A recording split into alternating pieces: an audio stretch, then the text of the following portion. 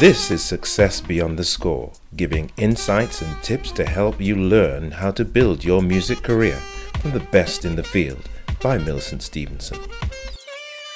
Millicent is a multi award winning saxophonist and endorser of Harry Hartmann's Fiber Reeds. She is currently serving on the executive committee of the Musicians Union. With over 40 years' experience in the creative industry, Millicent has honed her performance and business skills. She provides personal development training and coaching via her online platform, successbeyondthescore.com. Hi, and welcome to Success Beyond the Score. I'm Millicent Stephenson, and thank you so much for joining me today. Now, I'm going to pick up with my conversation with Anna Brooks. Anna is a professional saxophonist, an international touring and recording artist with the Brooklyn Funk Essentials and also the Jools Holland Rhythm and Blues Orchestra. She is a music arranger, music director, music preparation specialist, teacher at the Birmingham Conservatoire, and singer. Today, you'll hear how Anna coped with COVID 19. She's going to give you her tips for transitioning your music into a full time professional career Anna describes her music career as going a little bit backwards to go forwards, in that she had her children and then she started her career. So we're going to hear all about that. Now, this recording was taken during lockdown over Zoom, so if you're watching or listening, there'll be a slight difference in the sound quality between the show intro and the interview. But the information, as always, is A. plus. Here is Anna Brooks. So 2020, three quarters of the year has been taken over by Corona COVID from March through December. Um, yeah. How has it been for you as a full time musician? Um, what have you done to sort of navigate this very choppy time? Um, built this studio. it's amazing how many musicians have built recording studios in their gardens during this time. You know, if, if you're a, a, a touring musician, you're on the road all the time. You don't get that much time at home. And, you know, we we've really needed a distraction during these times, you know. Mm-hmm. And um, this is one thing that that, that we have done. Um, this recording studio was actually the, in the Jewelry Quarter in in Birmingham, and so the entire music studio has moved to a, a building in our back garden now, which is it's absolutely amazing. It's fantastic. So that has been one thing that, if you can say there's a positive of the whole situation, mm. um, that is one thing um, that is a positive because I don't know when we've, we've, wanted to do this before and we've spoken about it, but we've never actually had the time. Mm. To, to do it because we have not been around enough. Um, so that's that's one thing. Um, positive. Lots the, of negative. Uh, lots of negative. I mean, it's been devastating. It breaks yeah. my heart. It yeah, really, it really breaks my heart. Mm. Um, you know, I know so many musicians who have been unable to work. Um, you know, musicians are um, driving taxis and um, supermarket deliveries and delivering pizzas, and you know, they're not able mm. to do what they what they love. They're not able to you know they're not able to work. And i i haven't done anything else um, which is partly a conscious decision because i don't know maybe this will come back to bite me but i don't feel like i should. I mm. think musicians should be supported um, not retrained. Yeah yeah. Um, without meaning to get political you know. Um, so i've been um, able to practice more extensively for the first time in a long time, which has been great. Yeah. Um, but I've not been able to work, and I've just watched, you know, venues close, and my entire diary. This would have been my first year, um, my full year touring with um, Jools Holland and the band, mm. and um, after the little tour that I did with the six piece band um, in March, I actually came back from the tour with COVID 19 in, in March um, and um, haven't, obviously, haven't played with the band since then. I've really, really missed the interaction with other musicians. And I know that's something that musicians have really missed as well. And a lot of people's mental health has suffered, as well as mm. their income being absolutely devastated. I yeah. mean, you know, mm. really, really devastated, which has also has also happened to us. Mm. Um,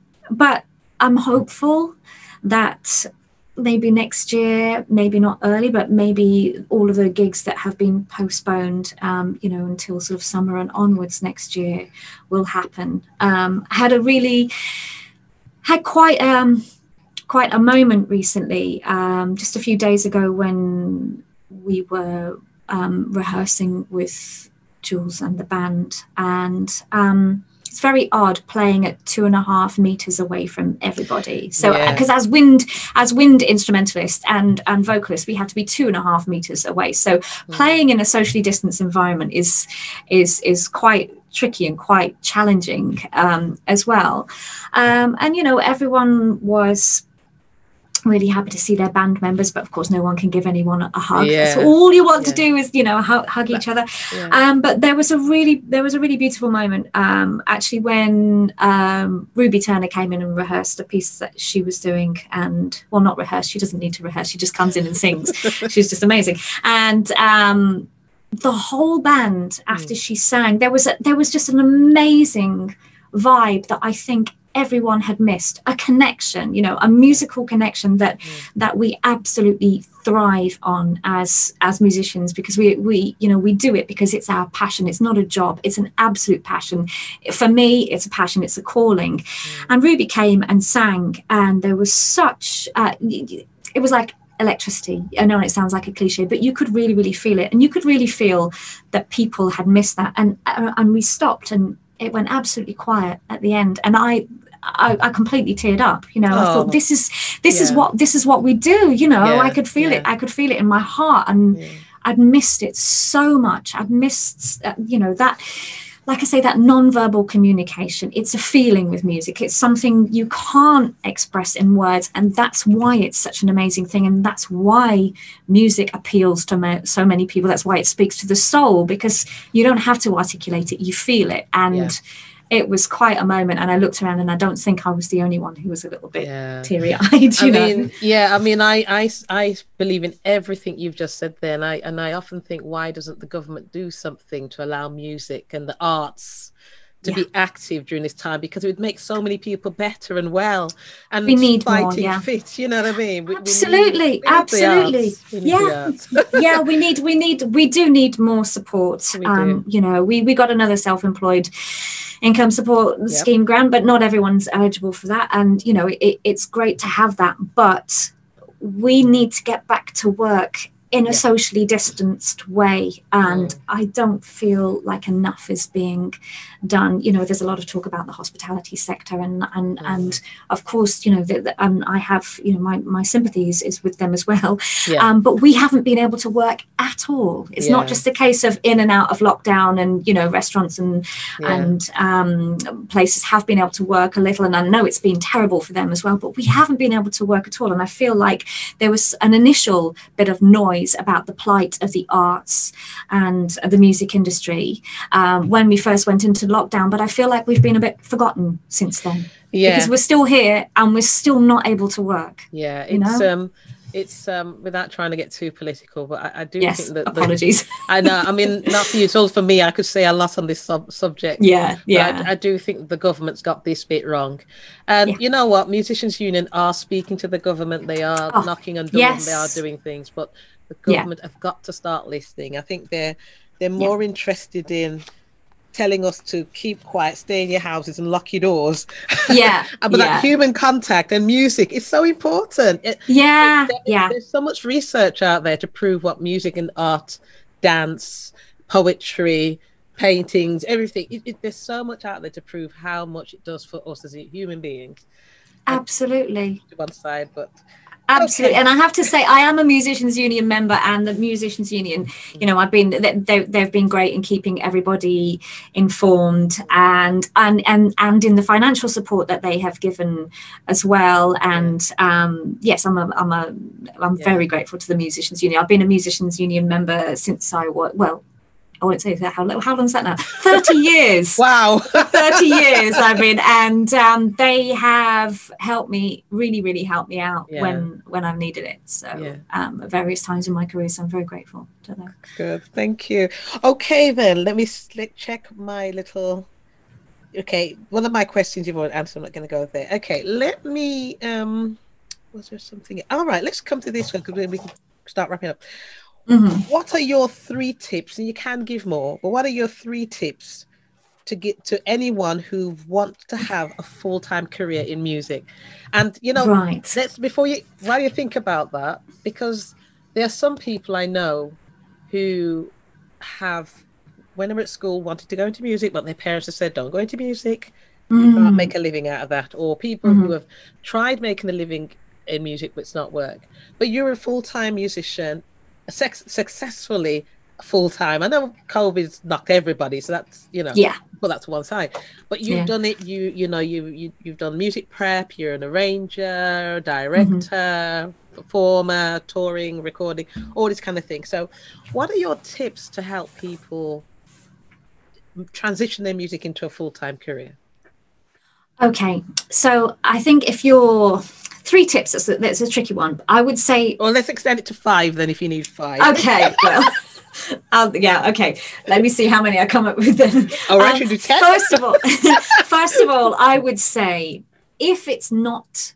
if you're if you're thinking is being um, a professional musician the right thing for me Hmm. um, the answer is if it's not if it's not your passion you should know the answer to that you shouldn't you shouldn't be asking yourself is this the right thing? It sh- it should be your passion. Mm. it needs to be your passion. Mhm. um, because that passion is what will drive you to practice to to work hard. Um, it it has to be your calling because it's not an easy job.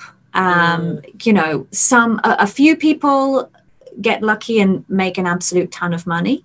Um, a lot of people you know get great um, artistically fulfilling projects and have a wonderful time but don't earn a lot of money. You know it's not as as, as glamorous as it as it might seem. Mm. um, so it has to be your passion and your passion is also that's kind of that's what what saves you as well when you get knockbacks. That what that's what makes you get up when you get you know when you get kicked down or if you miss an opportunity or Mm. you know if a gig if you think you're going to get a, a, prestigious gig and it ends up going to somebody else it's your passion that that that keeps you going. So it's not it's got to be your calling. It's not something you can dabble with Mm. basically. So you need passion. You've got to have that passion. And of course that ultimately is um is what what people will pick up on when you play. So you know you've got to have passion in the way that you perform as well. You've got to perform with something that speaks to other people. Um and so that's absolutely essential i would say. Um you know without without that passion your music isn't going to speak to other people. And i think often, often if you think about i don't know maybe think about your favorite song or your favorite artist? And if you think why is that my favorite song? Or why is that person my favorite artist? It's usually or you know 99.9 times um, out of 100 it will be because it gets you in the heart. It Yeah. speaks to you yeah. you know? And that is because that particular artist is sharing their their their passion with you in my view. So number one passion. Um number two tips for if you're going to be a professional you've, you've got to you've got to study hard and practice hard. You've got to know your craft inside and out. There is no app or hack or quick fix to get you from you know a beginner saxophonist to a professional in 6 months. It hmm. doesn't exist. It's hard slog. It's repetition. It's practice. It's dedication um, and knowledge. And as i said before you know you don't you don't have to study at, at, um at, at a university um, or go to music college. But the knowledge is all out there for you to for you to gain. So you've you, you've got to study in whatever way that might be, whether that's your own personally directed mm-hmm. study or if it's a formal kind of higher education or further education. You need to know your craft and you need to study and work hard, and it's not going to happen overnight. You know? There's no way. No, no, not overnight. No. Um, and then I think tip number three, from my point of view, is to build a portfolio career. So, um, you know, if I look at what I do, there are times when I do, you know, maybe one aspect of of, of um, my career where I'll be working on that more than another. So I might be working on an album, um, either you know as part of the band like Brooklyn Funk Essentials or or, or, or an album of my own, um, and that's eventually hopefully going to generate some income. Or uh, and then another time I might be um, arranging for um, a, a, particular musician or a, or a, or a theatre show, or you know sometimes I arrange music for cruise ships for people who say you know who like me to to to make them a whole set for you know something like that um that might be taking up a lot of my time or it might be in the quieter times um, i'm always teaching at the birmingham conservatoire um, but, but that portfolio career is absolutely essential because mm-hmm. otherwise if you're only doing one thing and then, then obviously there's all the, the touring and the gigs mm-hmm. you know gigs makes up the vast vast vast majority of my of my um, income as a professional musician. But obviously, um, right now, there there ain't no gigs really, you know. um, so luckily, you know, I've got a, the the little bit of teaching that I do at the Birmingham Conservatoire kind of almost pays the bills. Nothing's paying the bills entirely right now. It's you know, because just because of the situation we're in. Yeah, yeah. But you know, um, I had a um, I had a surprise PPL payment that came in the other day, oh, and that that was from you know that was from my album, my jazz album. Mm. Um, so writing music, performing music, these are all things I would say I would suggest. Mm. So and maybe pick a few or all, but compose your own music and publish it because then you will get your writer's credits. Um, you know, perform music and not necessarily just with other bands, but your your own thing as well. Mm. You know, um, I'm still out there. I, I, I if, if, somebody wants me to go and play for their wedding, I will still go and do it. In fact, I actually have. Here I am complaining about no work. I actually am playing for somebody's wedding tomorrow, which is quite astonishing. Just just 15 people because those are the regulations, yeah, you know, yeah. Um, and all very socially distanced. But take every opportunity, you know. um, and I, I have no qualms. I am not a musical swap, snob. I don't think any form of musical performance is better than any other. There's some that I enjoy more, but you know, um, so performance, um, yeah, composing, um, music, you know, arranging music. There are so many different things that you can do. Um, obviously, a lot of people do, um, you know, YouTube, um, putting content and making money from that. Mm. Just diversify, you know, mm. um, and also it's really, really useful to not just play one instrument. Yeah. And the fact that I do a lot of um, backing vocals and um, and some lead vocals as well. I think that has made me a lot more employable. So if there's something that you do um, that's not necessarily your main instrument, don't be afraid to to put that out there and mm. include that um, in whatever you're doing if it's your your own project. Having said that, I'm not about to get my violin out of the loft because I haven't touched that for like 20 years. Actually, I did get it out a while ago I went, yeah, you know what? I'll just. but you know, I, I, could get it out and, and, brush it up and record my own string parts. You know, anything yeah. like that that makes um, what you do a little bit more yeah. um, unique. Um, yeah. Do it. You know, don't don't be afraid um, to to use other skills that you might have, other musical skills, even if you feel they're you know slightly lesser. Not necessarily, because that might just be your kind of niche thing that um, helps people recognize you. So, portfolio career super Excellent. super important Excellent. diversify Excellent. Lovely. There's some really great tips there. Absolutely fantastic. Um, I'm wrapping up, but I still, I've just mm-hmm. other things are popping into my mind to ask yeah. You. Because okay, let me just ask you if you're right for time, we'll edit out. Yeah, yeah, yeah, yeah, I'm fine. I'm fine. I got nowhere to go. Although I've got a gig tomorrow. got a prep. I've got one myself. Lucky. Um, so you've got what seemed like a very glamorous career. Can you think of any particular low that if you could do over again, you wouldn't do it that way? Um,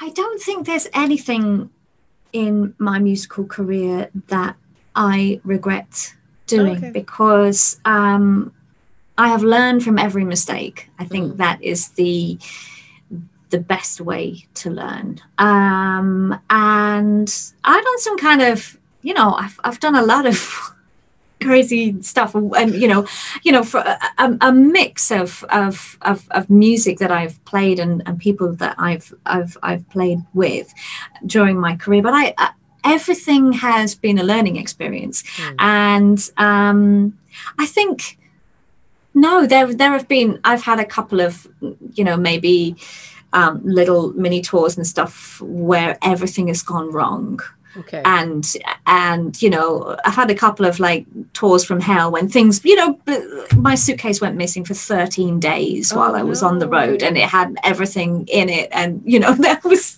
t- terrible things like that. But that's always stuff sort of beyond beyond your control and circumstances beyond your control. Um, but I don't think there's anything that I regret doing, mm-hmm. um, or anything that I would do differently because I think I have a policy of never regretting anything. Okay. Um, and and and you know, and learning from find, it then. yeah, trying to find yeah. some value in every in every musical experience. But I think maybe it's also just because I love my job so much that even mm. the stuff that's been a bit weird or a bit left field it's fine. It's part of. I love the variety um, of of what I've done over the years and, and what I what I because some people. Um, so, sorry to cut in, but some people no, give fine. up, don't they? When something goes wrong, they actually give up their music career and say, "I'm never going to do that," or "I'm never going to sing again," or "I'm never going to." Yeah, that doesn't sound, yeah. You're not one of those persons. It seems. It I can't. Like I can't ever. I can't ever stop doing this. It's mm. my absolute. It's my absolute passion. No, I. I. You know, music is is me. I, it's it's so deep in my heart that I could I could never give it up. I mean, don't get me wrong. I've had, you know, I've had times. I've had quieter times in my career, and I've had, you know, some tough times where, um, you know, things in my personal life might have affected my my career. Um, but I don't. No, I still don't regret. I don't regret anything, and I wouldn't have done it differently. It just you know life throws things at you and you just have to deal with them and and say okay you know what what is it? What what, what are you going to try try next? You know, what are you going to throw at me next? Okay, you know, I, I'll just keep going. I will yeah. just keep going. So I've never sort of felt like, oh, I can't do this anymore. Um, you know, there've been times where um, it's been it's been quiet and I I've been struggling to make ends meet. Mm. Uh, you know, as a as a single mom for a little while, that was um, that was very very difficult. But mm. just just push through um, and you know, find a way. Um, I think the thing is, if you've got a um, a varied set of skills if you can build a varied set of skills then the advantage that we do have is that we can kind of create work if you go out there and you know mm. uh, whether that might be more arranging work or working as a solo saxophonist or you know yeah. whatever yeah, yeah. Um, no i don't regret anything and i wouldn't i wouldn't change anything no it's been a it's been a crazy journey until now but it's been really enjoyable and i kind of i kind of in a way like I've I, have i have said to, in the past like I've I lived my life backwards. You know I had my children um, four days before my 26th birthday okay. rather than getting my career in first. I kind of got the children in first. And lots of things that people people sort of assume um, that you know I've always been doing high high profile work or that I must have got a lucky break um, earlier on in my career. But in a way, I'm quite a late, a late bloomer. I oh, think right. maybe, maybe yeah, because I, um, because I, I decided that I wanted to to to have a family, and you know, of course, well, I did my first gig after I had my twins when they were six weeks old at, at what was Ronnie Scott's in Birmingham, and I was I was still wearing a tent uh, after having having two children. But you know, um, it didn't even even that didn't hold me back. But um, I kind of done a lot of things in reverse in a weird in a weird way, and Yeah. actually, um, yeah, and actually and done things later in my career. Yeah, I think, but I think that's quite interesting, isn't it? Because it's this typical route: go to, say, do the degree, then the career starts. But you had a family Yeah. first. That's right. I did. I did the career. Um, uh, sorry, I did the uh, the um, university training, and then and then I think I thought, oh, you know what? I'll no, maybe I'll just play in a function band and and just hunker down and have a family, and then and then had my boys, and thought, no, I'm not going to do that. And actually, when they were two, is when I played at the Cheltenham. Jazz Festival that that Jerwood, Jerwood um, Foundation commission that I mentioned. Yeah. the boys were two and i was practicing the saxophone in the kitchen behind a baby gate to because it's the only way i could pra- so i could watch them the other side of the baby gate in the dining room whilst trying to practice like altissimo uh, on my you know and all kinds of crazy stuff on my on my alto sax. And it did kind of occur to me then like most people do this the other way round right like they do the career and then at Yeah. some point they go i think i'll have kids but i Yeah. i kind of had the had the boys and then and then thought actually you know i really really want to have a career Hmm. as well and Mm. i will find a way and i'm like, you know i'm super lucky to have had amazingly supportive parents who would look after the boys and you know if, when i was out playing and things like that but yeah i kind of kind of done it back to front Hmm. That's good to hear, actually. And that, that, that, you know, it's good to hear because I think there are women out there who are thinking, and I know some women who are probably in their thirties who are thinking maybe it's it's game over now. But listening to you, it's like, mm, absolutely not. Absolutely not. I mean i think um you know my my career my career really got started to get really kind of interesting and more high profile when i was 36 okay, yeah, so and i'm a bit older than that I know. you know um you don't yeah look it I- though. you don't look Oh, it. bless you, thank you. But no, I really, I would say um, it was around the time that I started to play with the Brooklyn Funk Essentials, and I was 36 at, at the time. And I'm I'm actually really glad that I've done it this way round because uh, you know the boys are at uni now. I feel like I'm still I'm still young, and I can go out there and tour, and I don't need to I don't need to to worry about you know Yeah, um, when do I have a family because I already did it. yeah, yeah, yeah. Got a T-shirt on that one. exactly, exactly. Now Yeah. I'm going to be absolutely really nosy before Yeah. we, we wrap up, and Yeah. I'm looking up your wall, and I can see two records.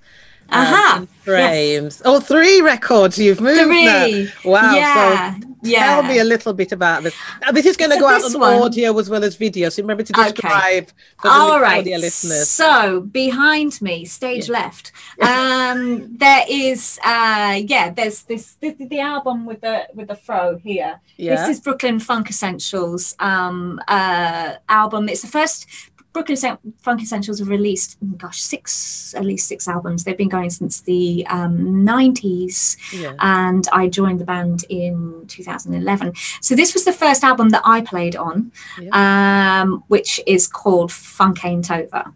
Um, and the middle one, um, this is the latest Brooklyn Funk Essentials album. Yeah, it's actually yeah. me on the end. I look like I've got one leg there. Okay. uh-huh. Um, and that's the latest Brooklyn Funk Essentials album. Yeah. Um, oh, yeah, which is called Stay Good. Um, Okay. And um, this one, I really, really love this album because it's kind of just just the six of us, and we now have on this album Alison Limerick on lead vocal. She's Oh. our she's our lead vocalist. Alison is amazing. I mean, she's an amazing vocalist. She's an absolutely wonderful, lovely, super talented, incredible lady, and, and a good friend. That's the that's the one there. And I'm I'm all over this one as well with uh, backing vocals as well as sax. And um, I don't think I've, I don't think there's any of my backing vocals on the first album, but um, this is so I'm on this one. I'm on um, tenor and baritone and lots of backing vocals, which I love. I, I love recording backing vocals. Yeah. I love singing alongside Alison. She has such an amazing voice. yeah. Um, so that's that.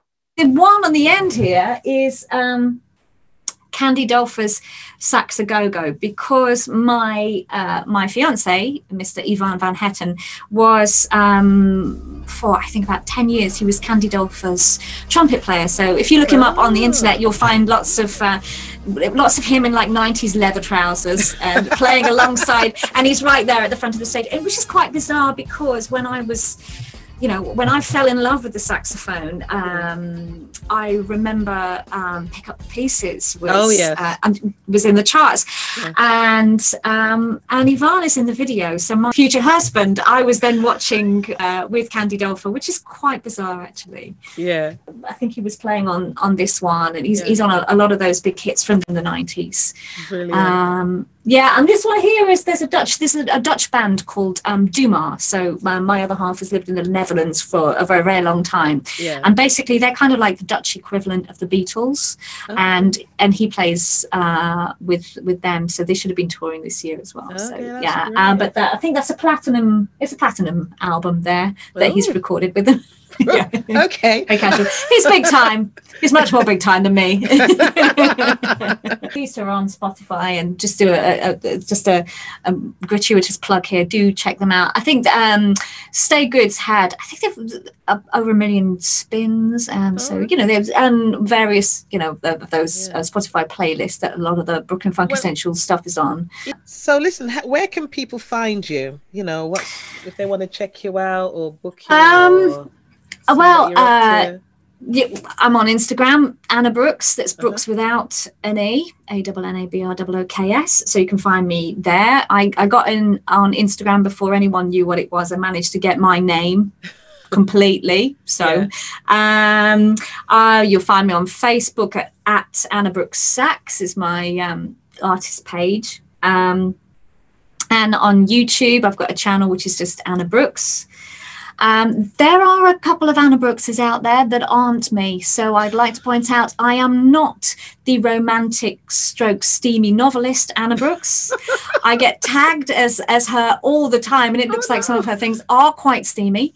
Um, yeah, with pictures of sort of you know half naked um, sort of gym fit guys on the covers saying it was him, you know. And so that's not me. I'm not Okay. writing those to to make a living while I'm not gigging.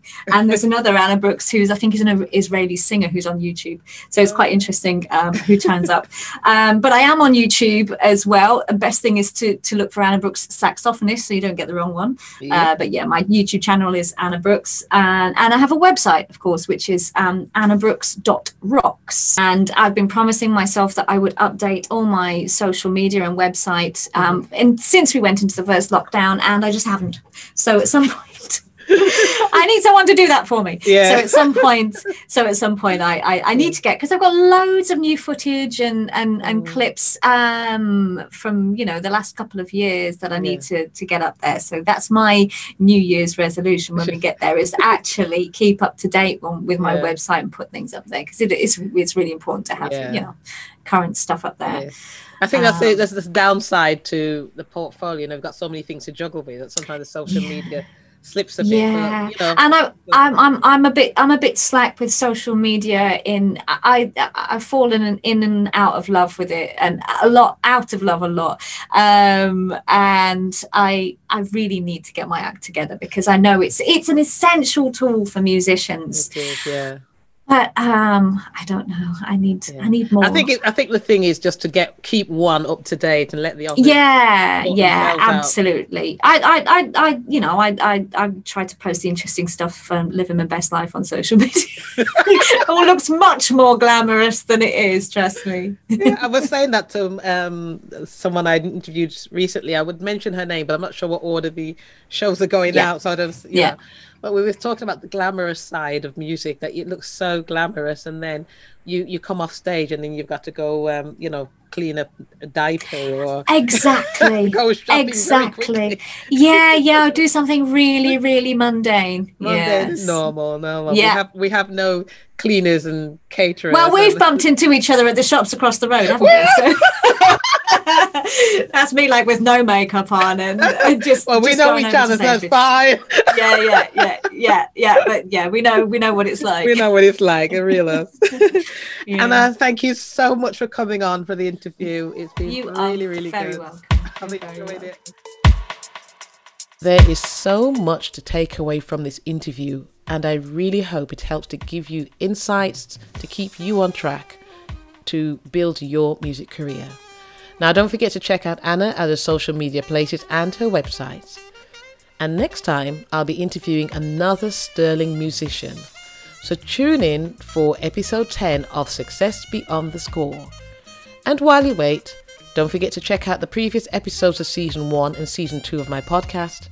And why not grab yourself a copy of my free e booklet called Revealed 25 Secrets of the Successful Gigging Musician, Singer, Rapper, and Spoken Word Artist. The link is in the description. Bye for now.